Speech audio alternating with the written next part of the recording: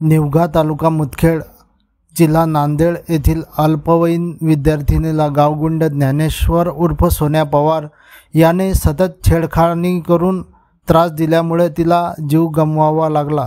ही बाब अतिशय संतापजनक असून केवळ कासार समाजच नव्हे तर सर्व जाती धर्मातील मुलींच्या पालकांना मुलींच्या सुरक्षेचा प्रश्न निर्माण झालेला आहे.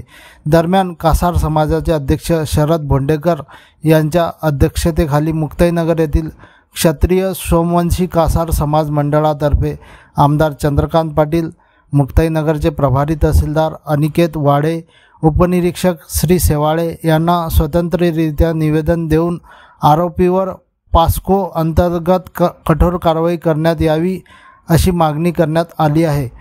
काय आहे घटना? ही विद्यार्थिनी बाराड येथे इयत्ता अकरावीत शिक्षण घेत होती.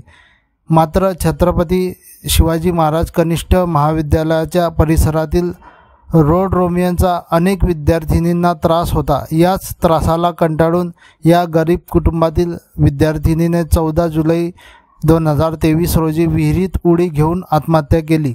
त्यामुळे सदरील विद्यार्थिनीला त्रास देणाऱ्या गावगुंडावर पास्को अंतर्गत कारवाई करून त्याला फासावर लटकवा.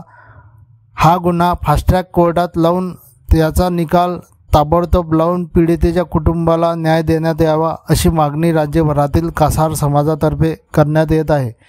दरम्यान आमदार चंद्रकांत पाटील यांनी या संदर्भात राज्याचे गृहमंत्री नामदार देवेंद्र फडणवीस साहेब यांच्याशी चर्चा करून सदर सदरील आरोपीला कठोरात कठोर कारवाई करण्यासंदर्भात मागणी करणार असल्याचे तसेच हा प्रश्न जोपर्यंत न्याय मिळत नाही तोपर्यंत लावून धरण्यात येईल असेही आश्वासन त्यांनी कासार समाजाला दिले.